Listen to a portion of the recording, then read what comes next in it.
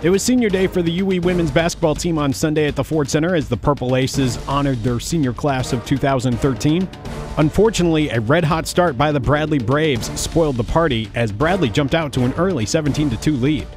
UE seniors Meagan Collins, Taylor Ware, and Samantha Heck tried to rally the Purple Aces, combining for 13 first half points, but the Braves would still take a 36 19 lead into the halftime locker room.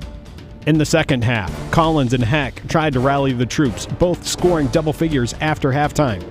But in the end, Bradley proved too much, as Bradley senior Katie Yon scored a game high 21 points to offset 44 combined points by UE senior class, as the Braves spoil UE senior day 73 57 at the Ford Center.